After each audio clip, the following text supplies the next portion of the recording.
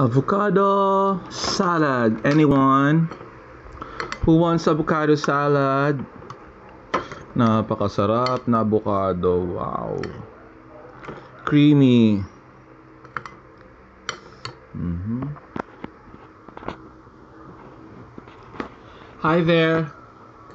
Good afternoon to each every one of you. Today is mm, first day of July 2022. Kado. Ah. Sarap no. Mm. First day of July and then first day of the year ko rin kumain ng avocado na galing sa tanim ko. No. Ayun. Sorry ah, pasensya na. Excuse me. Ah. hmm. Bali ano pa? Actually hindi ito malaki kasi pre premature siya. Nahulog lang doon sa baba. Pero marami pa dong bunga, lalaki pa mga yun. May mga time talaga na may mga pagkakataon talaga na ano na hindi lumalaki ang avocado. Kahit naman sa anong prutas eh. Mm. Harap. Mm.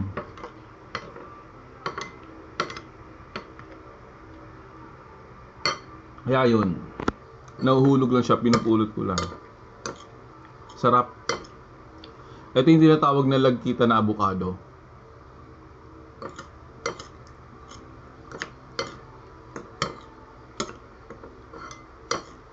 Alam niyo ba itong avocado? Ma malaking masa maanong benefits ang nagagawa dito sa atin? Ah, ah, ako ang pagkakala ko kasi nakakatunaw to ng taba ng katawan natin. Did you know na si Britney Spears avocado yung inaano niya? Uy, huwag kayo mag-fast forward ha. Nung tumaba si Britney,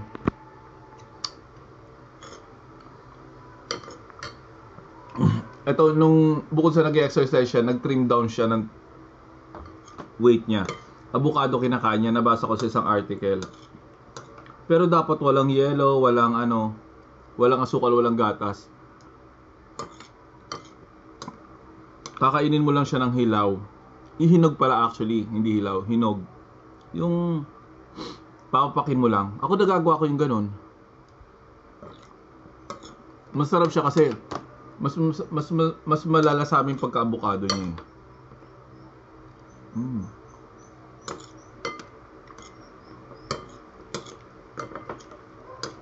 Matagal ko nang tanim yan, siguro mga ano na, more than 10 years na rin. Simula nung lumipat ako dito.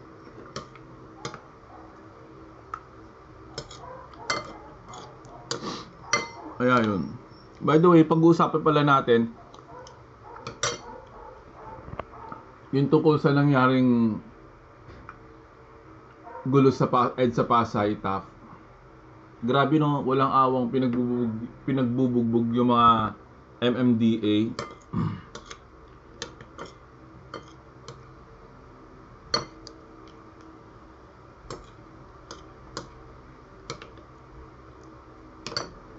Dinaan na sa diplomasya, wala pa rin. Kasi ganito yon bawal, excuse me. Sorry. Excuse me lang.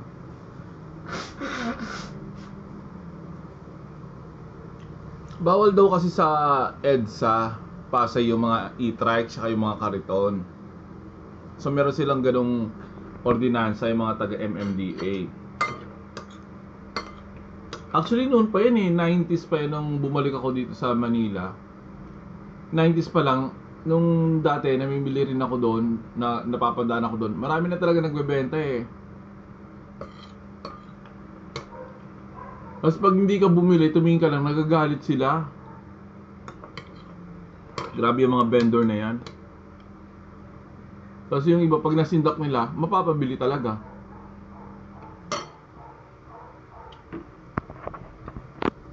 So pinagbawalan raw talaga, pinagbawalan raw talaga na wag na mag-e-trike doon kasi nga delikado, 'di ba? Kasi EDSA 'yun eh.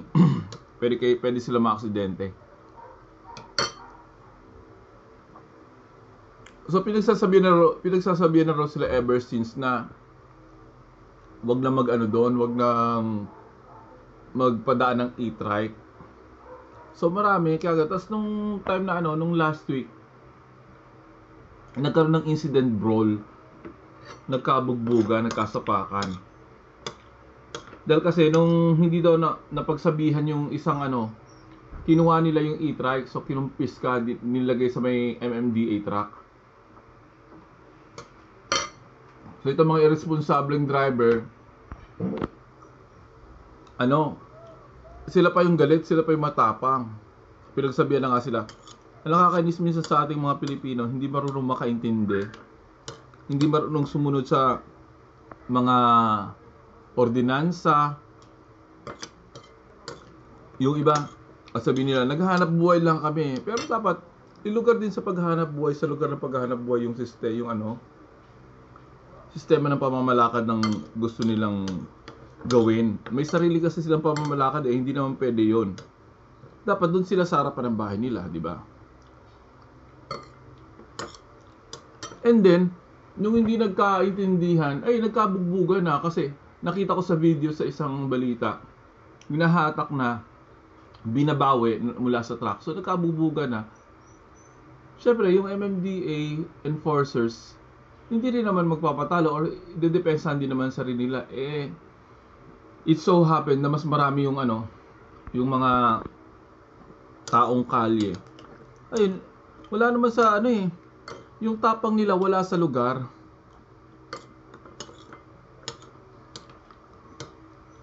Basta lang feeling nila na agrabyado sila which is hindi naman.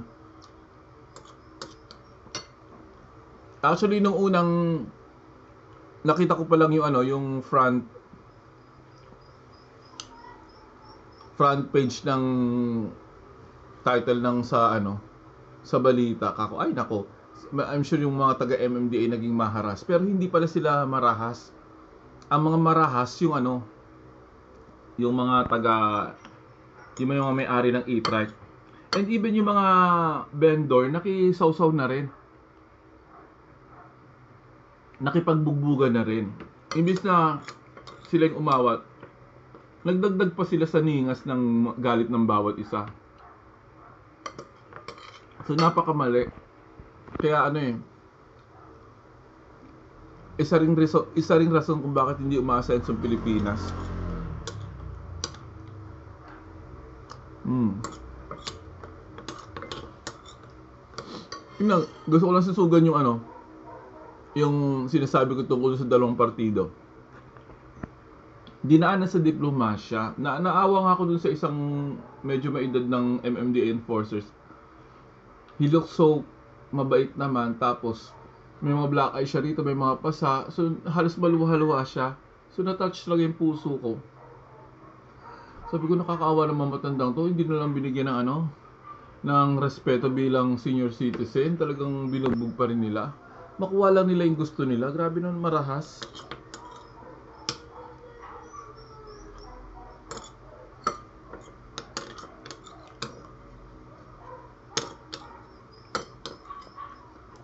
Sabi ko ba't ganun? Ibang klase ang mga to. sila na nga yung nakaperwisyo, sila pa yung may ganamang agrabyado ng kapwa.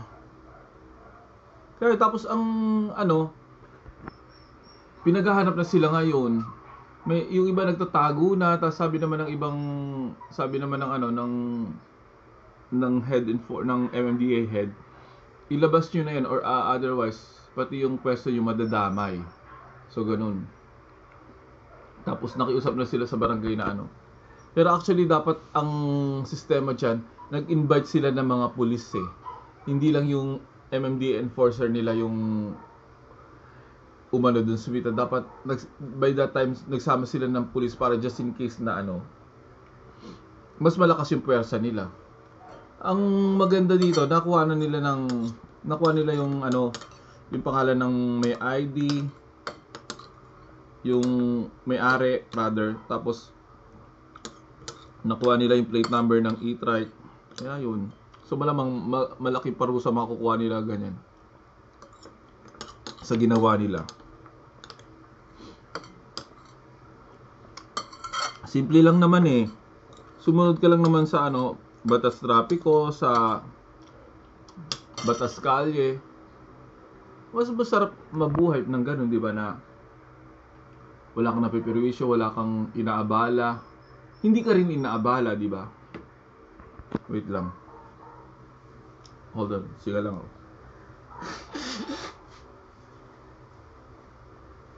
Nakakalook ring talaga, di ko talaga lubos maisip yung ganun. Uh, I'm sure yung karamihan din sa inyo na panood din to sa TV, di ba? Yung talagang ang dami nilang nagkumpulan na doon na sa bugbugan na yun. Sabi, di ko ma-imagine kung ba't nagkagano na ano. Actually, hindi lang isang beses nangyayari yan eh. Maraming, excuse me, maraming beses din talaga nangyayari yung ganyan eh. So, disiplina lang sana eh, di ba? Ang malamang pa niyan, baka hindi rin ma-revoke na rin yung lisensya nila dahil sa ginawa nila. Siyempre, nasa gobyerno mga yan. Gagawin nila yung nararapat nilang gawin para kahit pa paano mabigyan ng leksyon to mga walang hiyang to, di ba? hindi na ano eh, may mga tao kasi talaga na ano eh, yung magtatapang-tapangan lang kahit wala sila sa lugar, mananakit sila ng kapwa. So pathetic. Hindi ko talaga lubos maisip kung ano, may mga tao talagang gano'n na nawawala na sa sarili nila.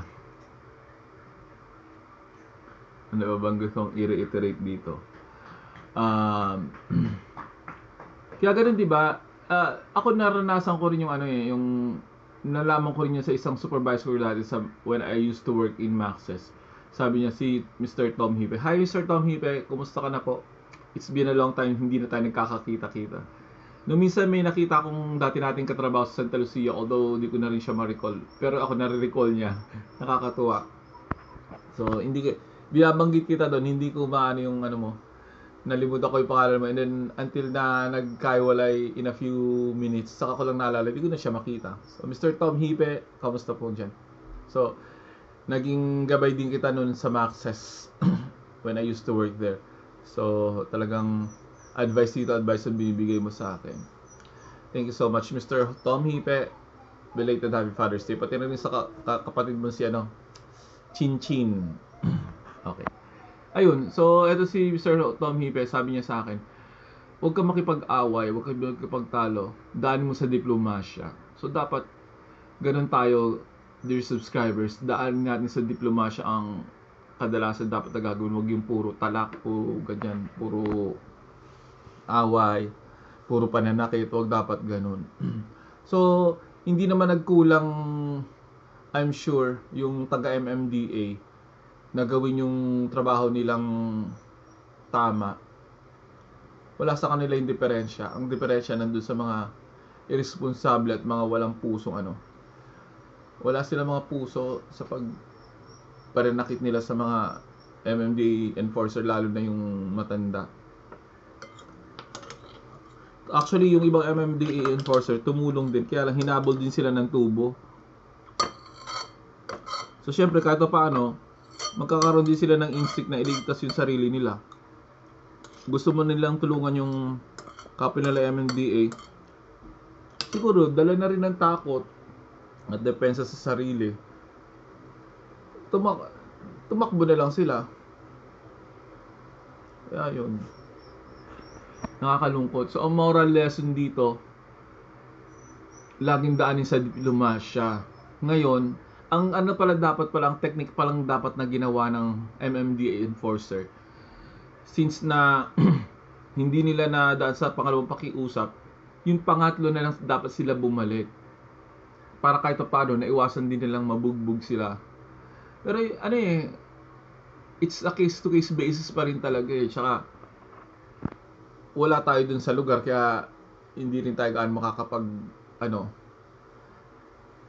makakapagbigay ng total opinion pagdating sa ganyan. Pero para sa akin, dapat nung time na inano, hindi nila nadaan sa pakiusapan, tumawag sila ng backup which are the police ano police team, di ba? Para uh, ma magkaroon man ng sakitan, uh, excuse me, hindi sila gaano mabubugbog. Hindi sila gaano madedehado. Kasi nasa likod sila ng ano eh, police team. Ganun dapat ang nila. Kasi meron namang first offense, second offense until third offense eh. Doon nila doon talaga sila dapat bumawi. Kaya lang wala nangyari na eh. So hindi na maano 'yan. Makakalungkot lang talaga ang nangyari. Kaya yun. So ano pa bang gusto kong i-ano? Ayuwa na si may ano, may avocado tree. Wait lang ah. Sensya na kayo dito sa bahay ko, ang gulo ha. Inuuna ko munang tapusin yung mga labahan bago ako maglinis eh. Hold on. Ayan, ang aking avocado tree. Madami na siyang bunga. Ayun o, may bunga yan. Ayan, isa, as you can see. Ayan pa. Ayan pa. Ayan.